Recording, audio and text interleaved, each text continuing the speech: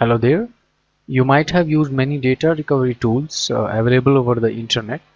Most of us will be paid ones and the free ones will be for only trial basis. Forget all these things guys.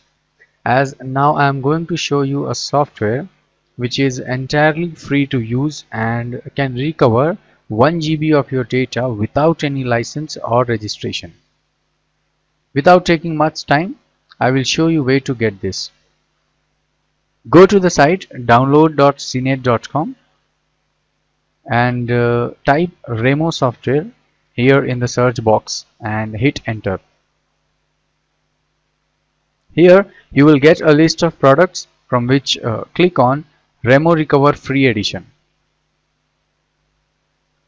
This page will show you the product review of this software. Read it to know the different scenarios in which you can use it. Later, download this software from this uh, large green button.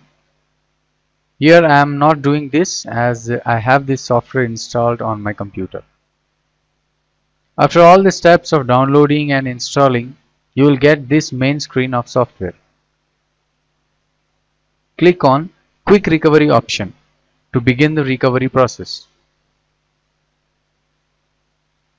Here, select the drive from which data has to be recovered.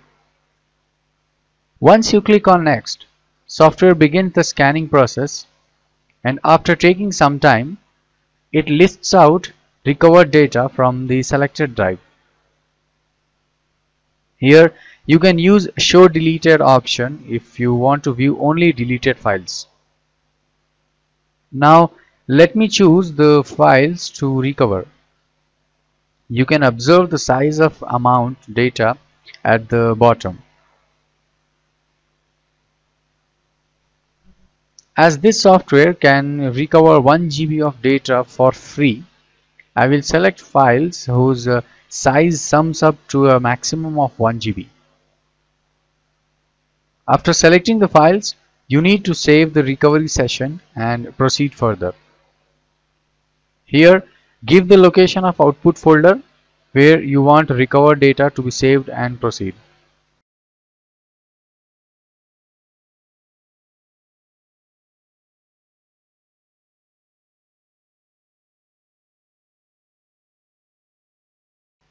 That's it. Software begins the saving process and finally output folder pops up with the recovered data. So you saw how easy it was to use this software. It's not a bad idea guys to make use of such a software that can recover your data in almost all the data loss instances like hard drive format, partition deletion, memory card corruption, bad sectors, virus attack, simple deletion of files, many other. Okay, that's it for the day. Hit like if you think this video was helpful and check out the link in the video description to download the software. If you get any difficulty in using this software or have any question about data recovery issues, comment here and subscribe my channel. Goodbye.